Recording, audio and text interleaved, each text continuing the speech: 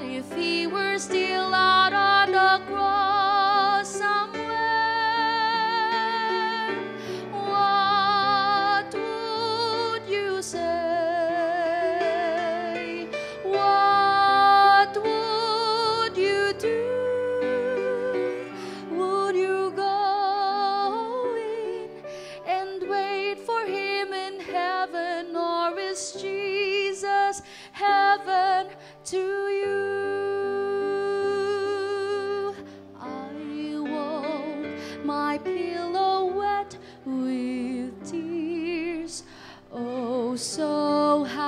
that it wasn't real. Still, how those dreams so filled with fears changed the way that I think and feel. All of us should ask what we're really longing for, special thing for us, or the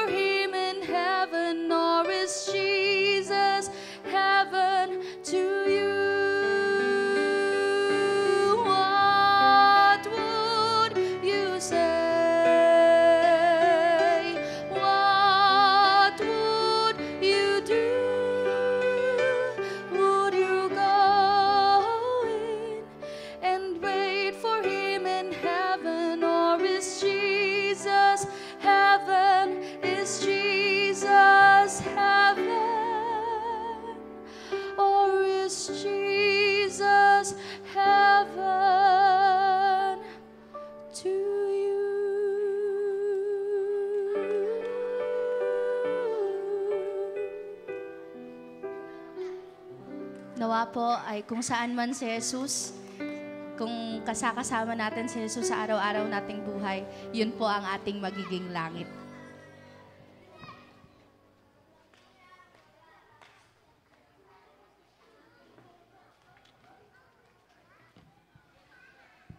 Tayo pong lahat ay tumayo at ating pong awitin ang ating team song.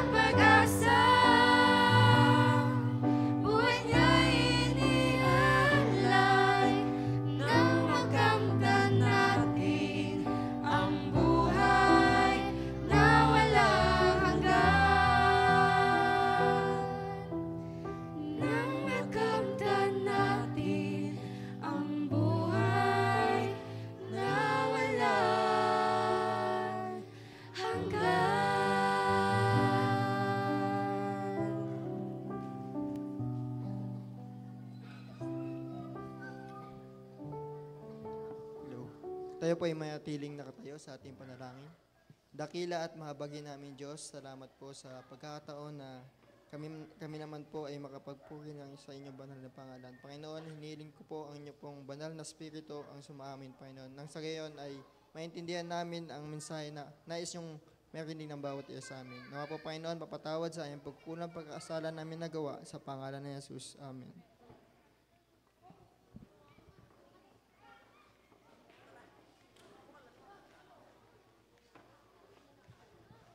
Hello, ayan. Magandang gabi po mali, mga kapatid. Alam niyo po, personally, personally, nagagalak po ako kasi nakita ko po yung mga dinadalaw po namin dito. Hindi na lamang po namin nakikita sa kanika nilang mga bahay, kundi kasama na rin po namin dito sa Bulwagan. Kaya po, thank you, thank you po sa inyo pong pagdating. Kami po ay lubos na nagagalak. Sige po, before po tayo mag-start sa atin pong topic, recall po ulit tayo ng atin pong topic. Ano po yung first topic natin? Naku, mas malakas na basa, mas naririnig ko, mas alam kong marunong magbasa pala talaga ang lahat. Sige nga, iparinig niyo po sa akin kung gaano kayo kagaling magbasa. Sunod. Yon, sunod. Sunod. Sunod po. Wow, next. Humihina na. Paano ulit yung bigkas? Ayan. Sunod. Sunod. At ano po kaya ang topic natin ngayong gabi? Pneumonia o pulmonya. Pero bago po tayo dyan, ito po ay nalibanan ko po kagabi. Ano, nakalimutan ko po siyang bigkasin kagabi. Sabi po dito, kapag po, sino po ang madalas magkaroon ng sore throat o pan- pananakit ng lalamunan? Meron po ba? Ayan, sabi po dito, kapag madalas po kayo nagkaka-sore throat, tingnan ikahuli na po tayo. Ano, so, kinalulungkot nating sabihin, pero ito na po yung last at bukas ay wala na. Medyo nakakalungkot po. Ano. So, i-recap natin yung napag-aralan natin ng sampung araw. Ano po yung una? Baliw ang title. Ano po ang pinag-aralan natin ay ang Biblia. Ikalawa, ang pagpili, pinag-aralan natin ang pinagmulan ng kasalanan. Ang ikatlo, pagtubos o kaligtasan. Ikaapat naman, pinag-aralan natin ang kautusan ng Diyos. Ano po? Kalima naman ay sabat o ang may pinamagatang pahinga. At ang ikaanim naman, pinag-aralan natin ay pagkain o kalinisan. Pinag-aralan din natin yung second coming o yung pagbabalik ni Jesus at paghuhukom na may pinamagatang hatol. At kagabi naman ay ang pagbabago o ang bautismo. Sa gabi pong ito, ang pag-aaralan naman natin ay ang, pakibasa po nung nasa ilalim, kamatayan. Meron po tayong pinamagatan na takot. Tayo po muna ay manalangin bago tayo magsimula. Tayo manalangin. Panginoong Jesus, salamat po sa pribilehiyo na binigay mo sa akin, Panginoon, upang makapagbahagi po ng mga katotohanan. Sapagkat sinabi mo, Panginoon, na katotohanan ang magpapalaya sa amin, Panginoon. Tulungan mo kami, Panginoon, na maintindihan ang aming pag-aaralan. Iniimbitahan po namin ang iyong banal na Espiritu Santo.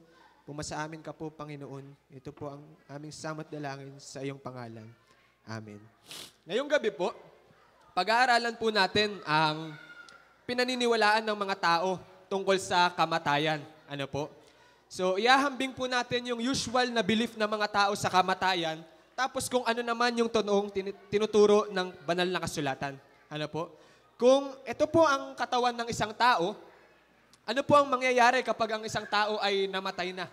Ano po ang mangyayari sa kanyang katawan? Usually po ang mangyayari ay mabubulok po yung kanyang katawan. Ang paniniwala ng marami, mga minamahal, ay after mamatay ng isang tao, meron daw pong lalabas sa kanyang katawan. At ano po yun?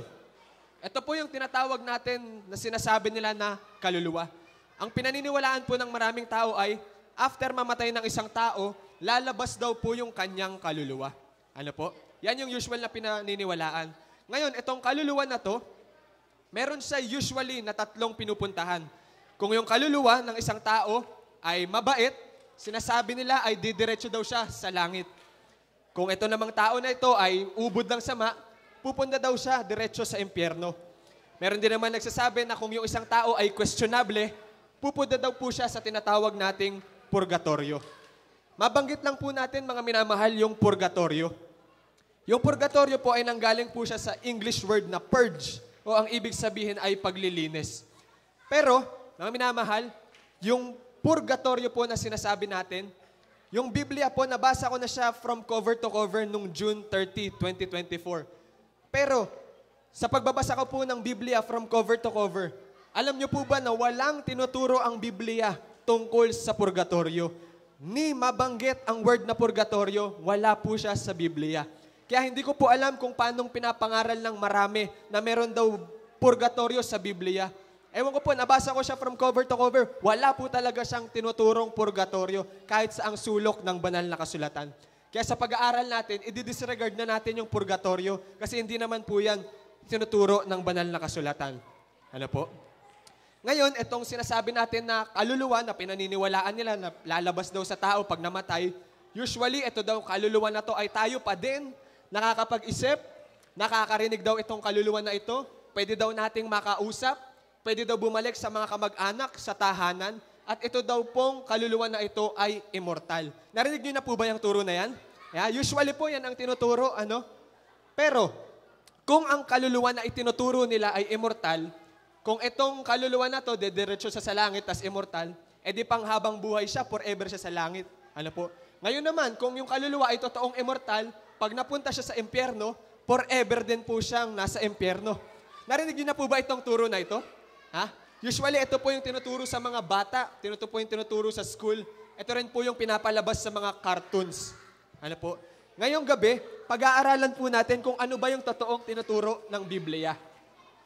So, una pong katanungan. Meron po tayo ditong walong katanungan. Una, ano nga ba ang kaluluwa sa Biblia? Okay? Pakibasa po ulit ng tanong. Pakibasa po ng tanong. Ano nga ba ang kaluluwa sa Biblia? Babalik po tayo sa Genesis, sa paglalang. Titignan natin kung ano ba ang kaluluwa na sinasabi ng Biblia. Nung nilalang ng Panginoong Diyos si Adan, ito ang sinabi, at nilalang ng Panginoong Diyos ang tao mula sa alabok, sa English, from the dust of the earth.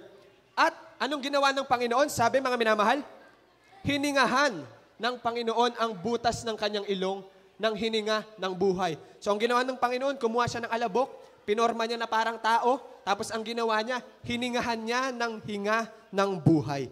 At ano daw ang nangyari sa tao? Ang tao ay, pakibasa po, ang tao ay naging buhay na kaluluwa.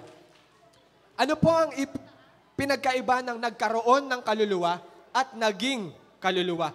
Pagpalagay po nating laptop na ito, pag sinabi ko pong nagkaroon ako ng laptop, anong ibig sabihin? Meron akong?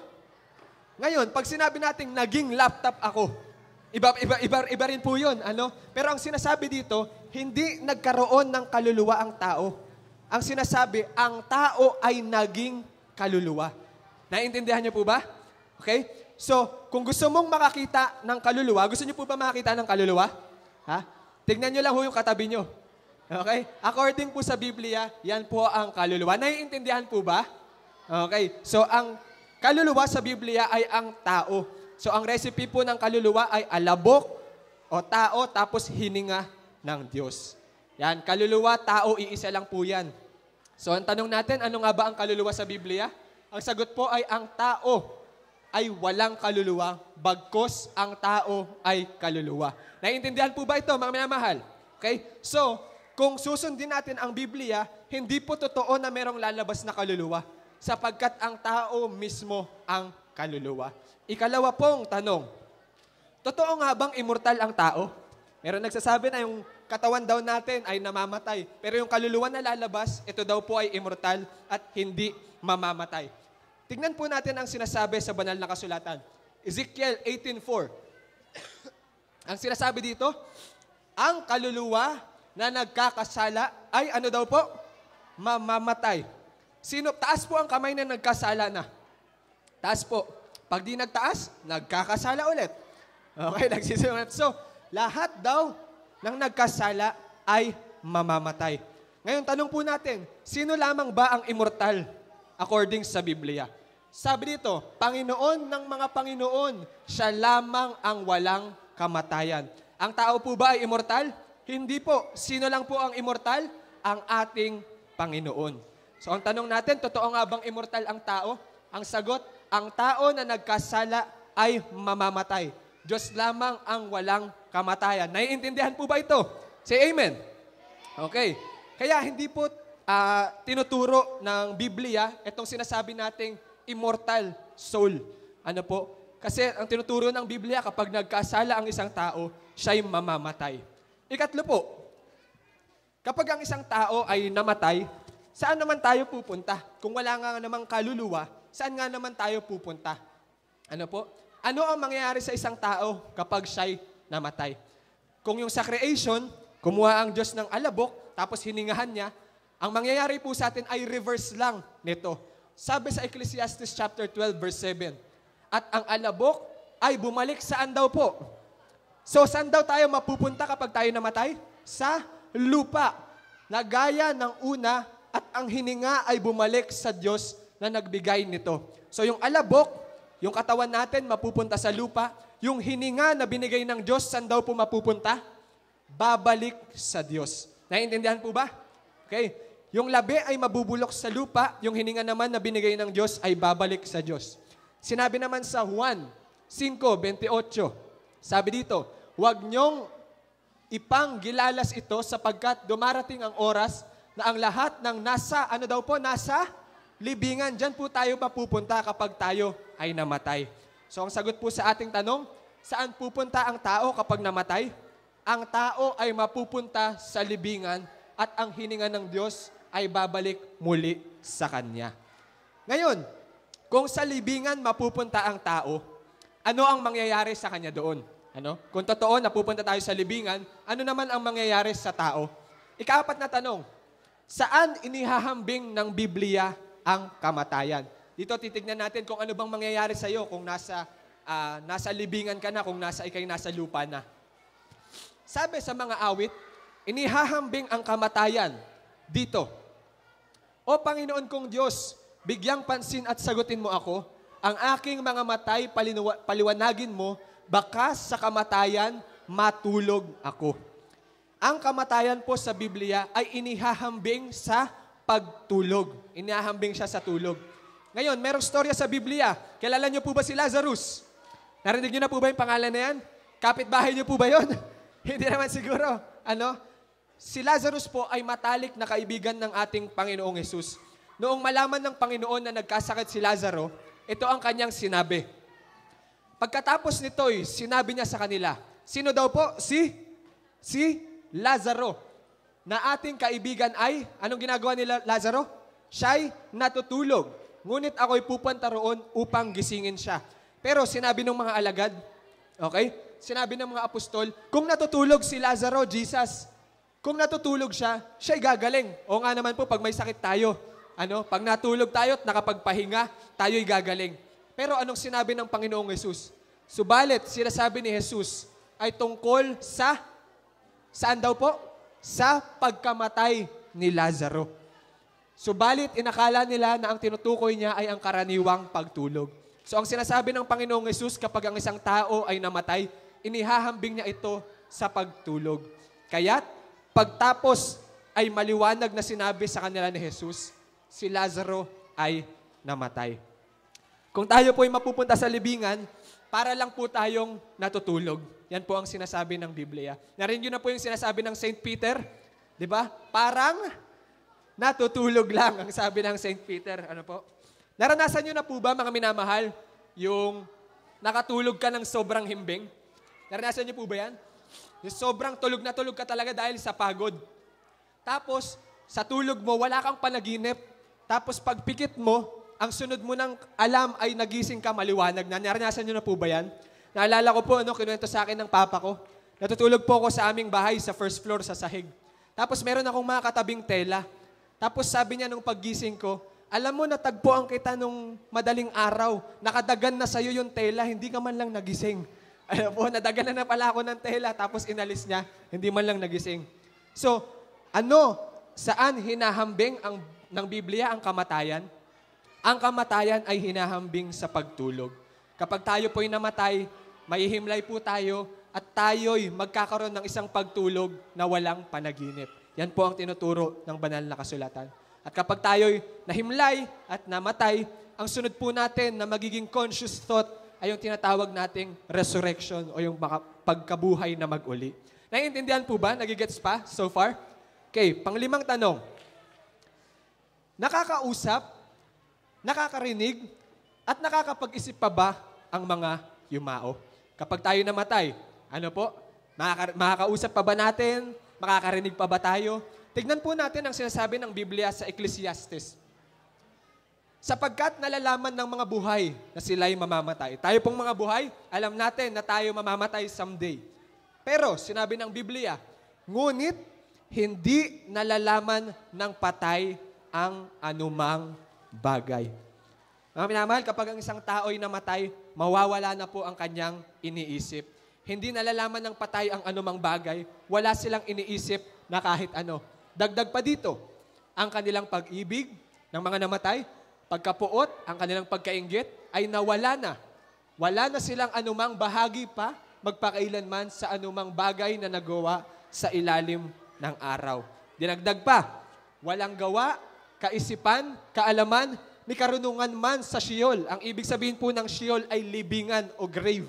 Wala na daw gawa, kaisipan, kaalaman sa iyong patutunguhan na libingan. So, sabi pa dito sa ating aklat sa Biblia na may pinamagatang Hope, ano po, ang tanong natin, makakabalik pa ba yung patay sa kanyang bahay? Ang sabi dito, kung papaanong ang ulap ay napapawi at nawawala, ngayon hindi naaahon pa ang tao sa Sheol ay bumababa. Hindi na siya babalik pa sa kanyang bahay, ni hindi na siya makikilala ng kanyang lugar. Napakalinaw po ng tinuturo ng ating banal na kasulatan. Once mamatay ang isang tao, hindi na po niya kayang bumalik sa kanyang bahay. Kaya ang sagot po sa ating tanong, nakakausap pa ba ang yumao? Ang mga yumao ay wala ng kaalaman. Hindi na natin sila makakausap. Kaya po itong limang tinuturo natin na nakakapag-isip pa daw yung kaluluwa, nakakarinig, pwedeng makausap, pwede pang bumalik sa kamag-anak. Hindi po yan itinuturo ng ating banal na kasulatan. Ano po? Ngayon, itong tinuturo mo, Brother Carl, meron ba siyang clear example sa Biblia? Pakinggan niyo po ito. Napakalinaw po ng example sa Biblia. Ang tinuturo po natin, ang sinasabi ng Biblia, kapag namatay ang isang tao, siya ay matutulog na walang panaginip. Ito po ang tinuturo ng banal na kasulatan. Si Haring David ba ay nasa langit na? Si Haring David po, isa, ang tinatawag po sa kanya sa Biblia ay tao na pinakamalapit sa puso ng Diyos. A man after God's own heart. Siya po ay tapat na lingkod ng ating Panginoon. At tignan niyo po, napakalinaw ng sinasabi ng Biblia. Tanong natin, nasa langit na ba si David? Kung totoo talaga na ang tao kapag namatay, dedire- dediretso sa langit, si David po ang isa sa mga pinakamauuna. Kasi po, siya ay kilalang kilala ng Diyos, meron silang relasyon. Ngayon, tingnan natin anong sinasabi. Nasa langit na nga ba si David?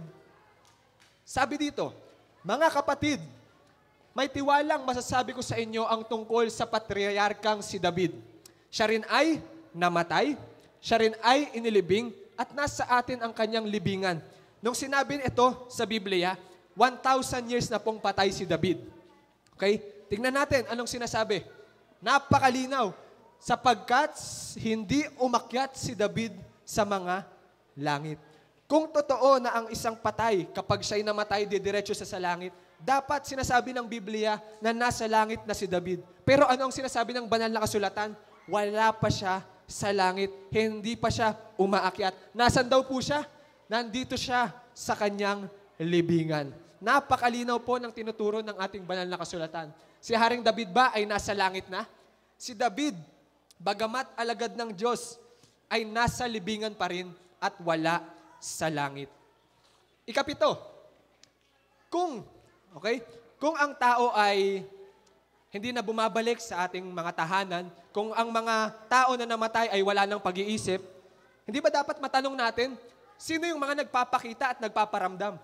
Yung mga tinatawag nating paranormal, mga multo, mga nagpaparamdam. Ano po?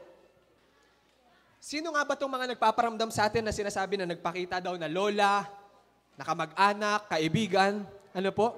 Ang sinasabi ng banal na kasulatan, ito po napakalinaw. Sinasabi, sila'y mga espiritu ng mga demonyo na gumagawa ng mga tanda. Mga mahal, mga minamahal, si Satanas po ay sinasabi ng Biblia, hindi nakakapagtaka sapagkat maging si Satanas man ay nagpapanggap na liwanag ng anghel ng liwanag. Sinasabi po ng ating banal na kasulatan na si Satan at yung kanyang maanghel, kaya po nilang magbagong anyo. So kung kaya po nilang magbagong anyo, kaya po nilang kopyahin yung inyong lolo, yung inyong lola, yung inyong kaibigan na mga namatay na. Kaya ang gagawin ni Satanas, kokopyahin niya, kagayahin niya yung boses, alam niya, kasi matagal niya na kayong, ano, kumbaga iniispayan buong buhay niyo. So ang gagawin ni Satanas, kokopyahin niya yung kamag-anak mo, tapos tuturuan ka niya ng maling turo. At ang sunod nating tanong, kailan nga ba magkakaroon ng impyerno?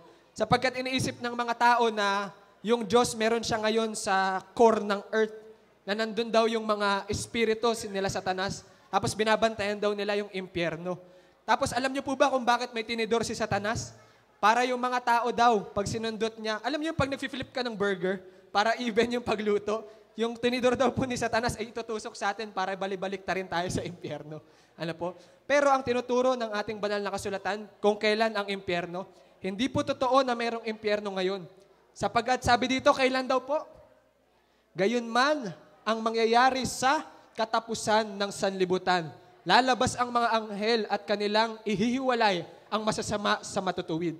At itatapon sila sa pugon ng apoy. Kung kail- kailan daw ang pugon ng apoy, sinasabi ay sa katapusan ng sanlibutan. Tapos na po ba ang sanlibutan?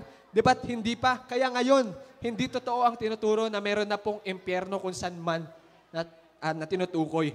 Ano? Wala hong room ang Panginoon na nagtutorture siya ng tao sa impyerno. Sa katapusan pa po yan ng ah, sanlibutan. Kung sa future pa ang ang tawag ang impyerno, matanong din natin, ah, saan nga ba ang impyerno kung sa future pa?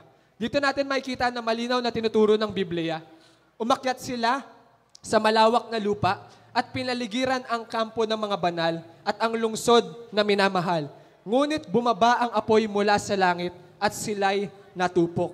Pagbaba po ng New Jerusalem na tinatawag natin yung tahanan po ng Panginoon, bababa po, bababa po yan sa lupa at magkakaroon po tayo ng tinatawag na second resurrection.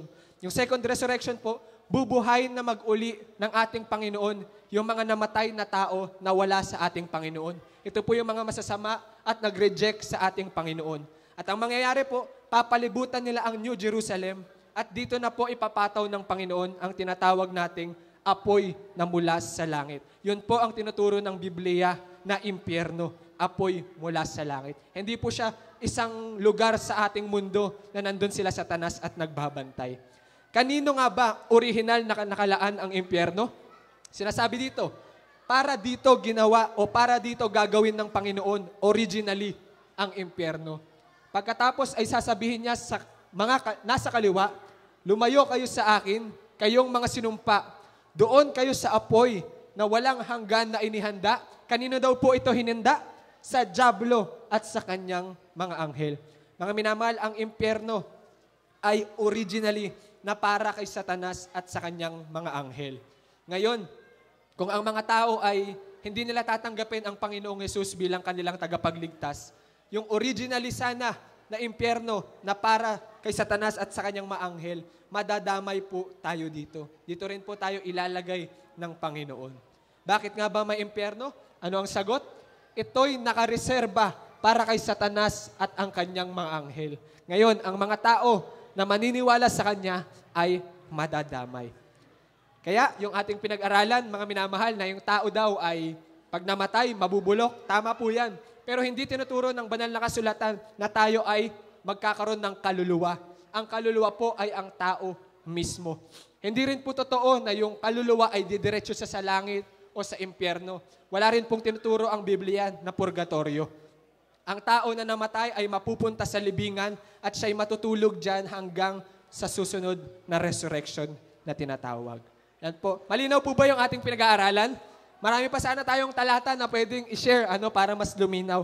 Pero dahil kulang po tayo ng oras, tayo dadako na po sa ating buzz session. Meron po tayong tatlong katanungan. Ang una po ay, paano mo iniisip ang konsepto ng kamatayan? Natatakot ka ba rito? O nakikita mo ba ito bilang bahagi ng buhay? Pangalawa, paano mo naiisip ang isang mundo na walang kasalanan, sakit o paghihirap? Ang ikatlo naman, kung magkakaroon ng bagong lupa, sino ang gusto mong makita doon at ano ang gusto mong maranasan? Tayo po ay maggrupo-grupo na para tayo ay mag-usap-usap.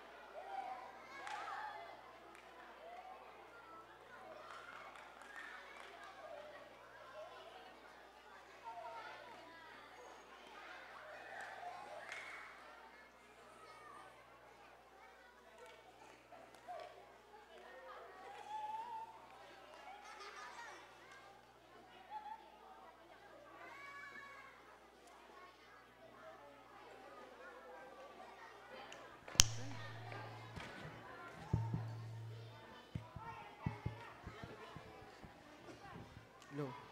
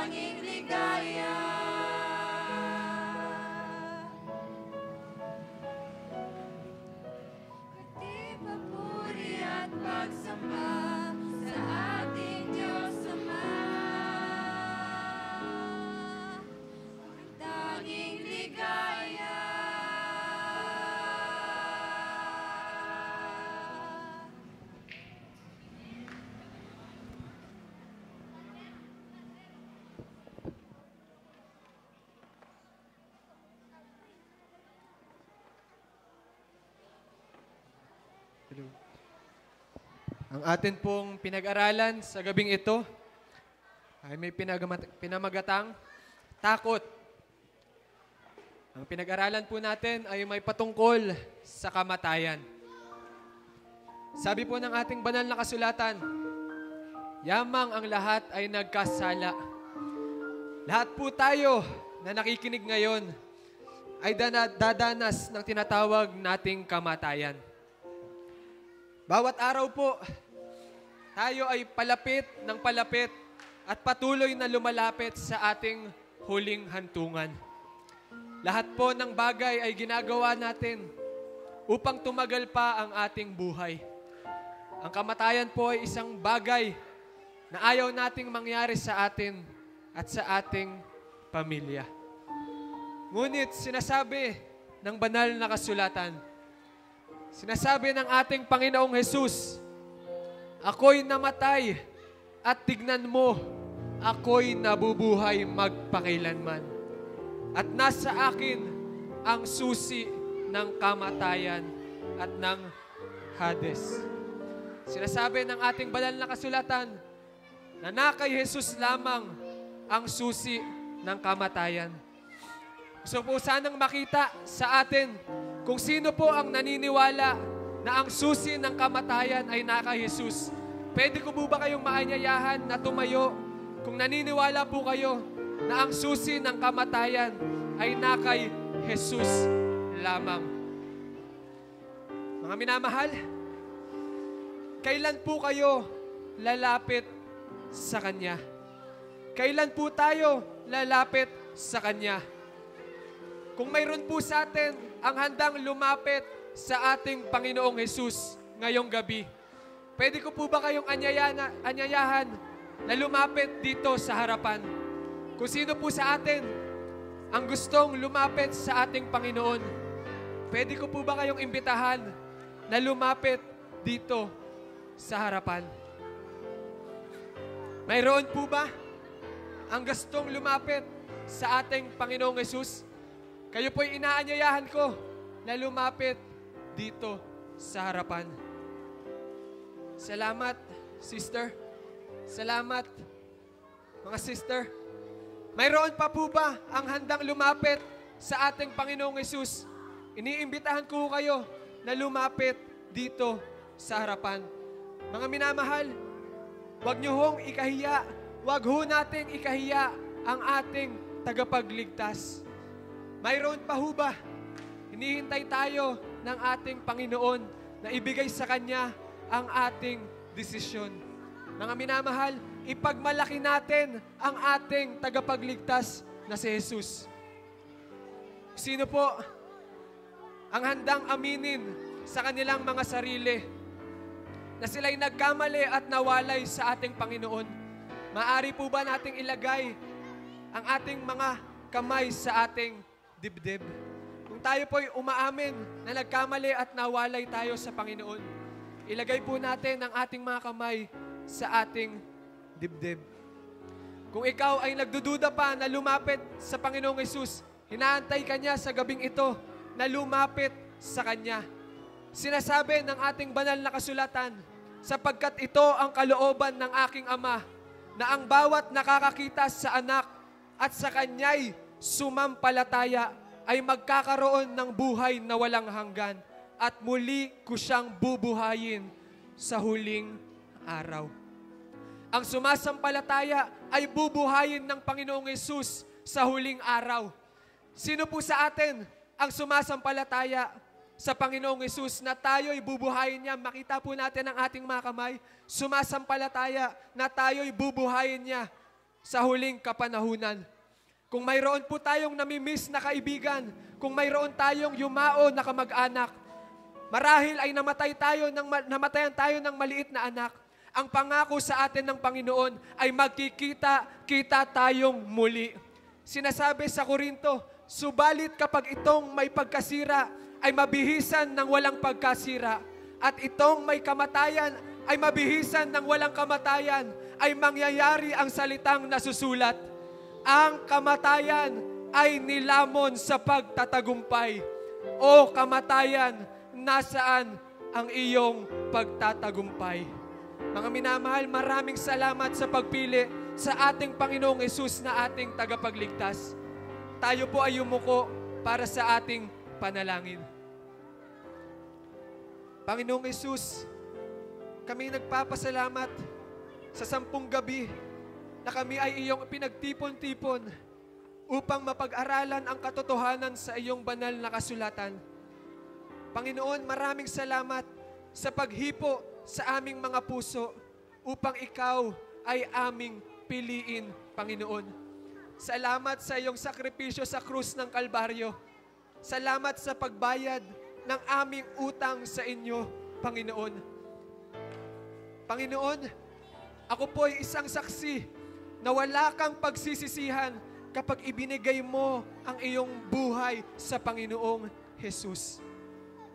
Panginoon, isang napakasayang buhay ang naghihintay sa mga taong handang sumuko at magpakasakop sa iyo. Panginoon, turuan mo kami na tanggapin ka sa bawat araw at hindi lamang sa gabing ito. Panginoon, pinagdadasal namin na bautismohan ka- mo kami ng iyong banal na Espiritu Santo nang sa gayon matamasa namin ang pagbabago ng buhay na inyong inilaan para sa amin. Panginoong Yesus, salamat ng marami. Salamat sa iyong sakripisyo. Panginoong Yesus, ikaw ay aming tinanggap. Ito po'y aming dalangin sa iyong pangalan. Amen. Ang minamahal, maraming salamat po sa pagpili sa ating Panginoon. Hindi po kayo magsisisi na inyong binigyan ng desisyon na ibigay ang inyong buhay para sa ating Panginoon. Maraming salamat po sa pakikinig.